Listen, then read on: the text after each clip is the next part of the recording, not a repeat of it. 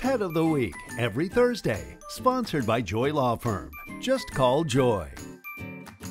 Each edition of Lowcountry Dog Magazine features a new shelter. In the latest issue, Carolina Poodle Rescue has earned the spotlight. Let's welcome Dennis Horn, board member for Carolina Poodle Rescue, and Lexi, an eight-year-old standard poodle and ambassador dog. It's good to have you both with us. Thank you. Oh, she is such a sweetheart. Where did you find her? Lexi was found as a uh, stray outside of Dorchester Paws last year uh, after they had made their attempts to find her previous owner and contact whoever.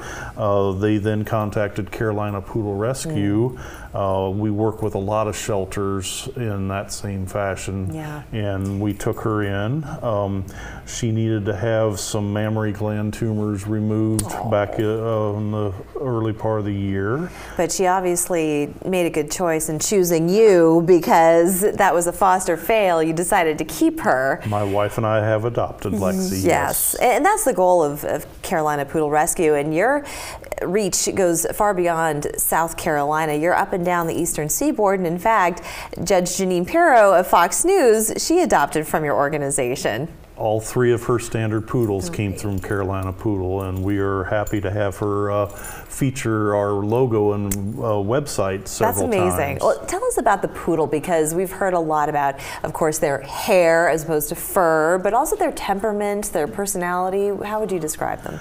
Poodles are a very smart breed. Uh, they originated uh, as a water retrieval dog. A lot of people don't know that, mm. uh, and that's where uh, they actually their coat comes out thick around the chest and the joints as a way of protecting the vital parts. Yes, and, and those those very interesting, fashionable uh, cuts, the uh, the various styles. That's yes. not necessarily for fashion's sake. That actually has a purpose. It had an origin with that being water retrieval in the cold air, areas of Europe. So right, yes. right. So when you see those little tufts on their hips, that's to keep their hips warm. Yes. So it is, yeah. And Carolina Poodle Rescue, you do have a farm that's out in Spartanburg, um, but you don't only have poodles there. You actually have a lot of other animals. Yes, we specialize in poodles, but we do a lot of the other breeds that need to be groomed and other uh, small like herding breeds like Shelties. It's Dreamweaver Farms. Dreamweaver right? Farms is our sanctuary home. Lexi, come on back.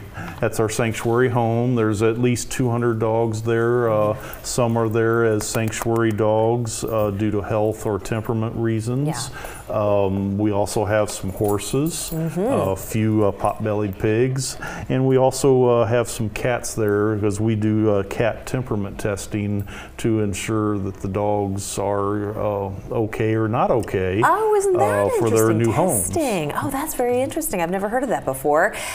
since 2000, when this organization got off the ground, how many dogs have you housed, homed, I should say? We have rehomed 10,000 plus uh, That's amazing. dogs. That's incredible. And if people want more information, how do they get in touch with you? And how, how far away? I mean, Judge Jeanine, she's all the way in New York, right? So we, you go beyond our, our country's borders, I hear. Yes, we even have some adopters and volunteers in Canada. Um, but our website, uh, www.carolinapoodlerescue.org. Mm-hmm and we also have a Facebook page, Carolina Poodle Rescue. Um, to adopt is the uh, online application on our website. And, and like with any organization, shelter, what have you, donations are always accepted. Yes. So people can just go to the website, make a donation yes. there, or they can become foster families as well. You've got yes. a track for that.